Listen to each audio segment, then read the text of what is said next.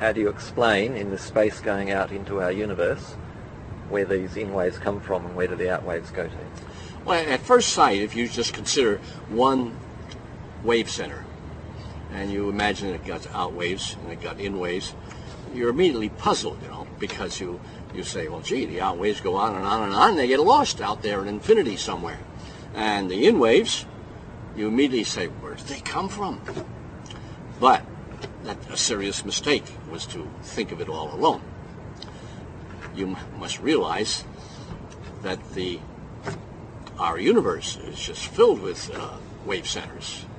Every hydrogen atom, this pencil, wave centers everywhere.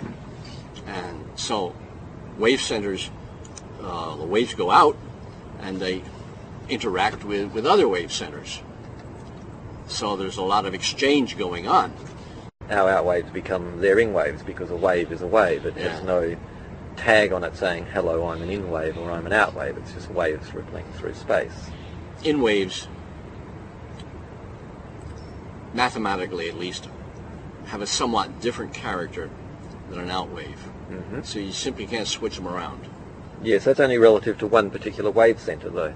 Once Right. they're flowing back out, Right, and they can become part of the in wave of another wave centre somewhere else. right, right.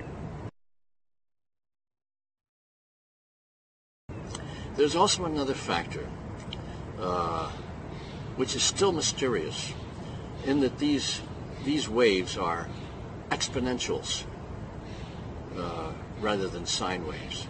The solutions to the equations are e to the i omega t, which is the same as cosine omega t plus i sine omega t. That is uh, the imaginary number, square root of minus 1.